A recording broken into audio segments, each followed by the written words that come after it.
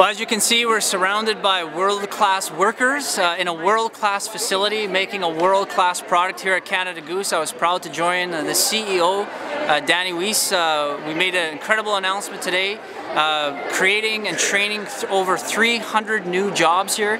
When you talk to the workers, you talk to the great team at Canada Goose, what they'll tell you they're proud of who they are, they're proud of where they live, they're proud of their hometowns and their home province and they want to give back. The best way to give back is to hire local people so they can make a good living for themselves and their families. And today we're able to do that for over 300 people, keeping great jobs here. We are making the world's warmest winter coat right here locally and at the same time that we're doing that, uh, having a global reach, the biggest impact that we're having is right here in our hometown. It's one of the reasons why, uh, and you talk to the team here, these uh, workers stay with the company very long. They have a deep sense of loyalty to the company. The company has a loyalty to its staff. And you know, one of the things that we're really excited about is they stay with the company a long time. It's one of the reasons why a government standing with Canada Goose has one of the lowest unemployment rates in the nation and one of the fastest growing economies. So a very exciting announcement here today.